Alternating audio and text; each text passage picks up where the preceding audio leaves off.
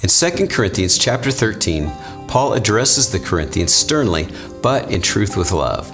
He first lets them know that they have mistaken his kindness for weakness, but like Christ, he loves them, but will no longer let their rebellion and corruption remain in the church, and if they are Christians, neither should they. Paul asks them to examine themselves as to if they were really Christians following Christ by faith. Have you done this recently? Take an inventory of how you are stepping out in your faith and testing it? We all should, being examined by others and asking for Christ to reveal to you what grieves His Spirit and what will draw you to be closer to Him.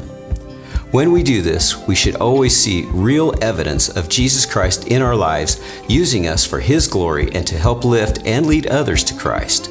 Let's all do what Paul has asked and be sure to take the time for a bit of personal inventory in your walk with Christ and to help others get back to Jesus when we see them struggling. And that's another truth for you.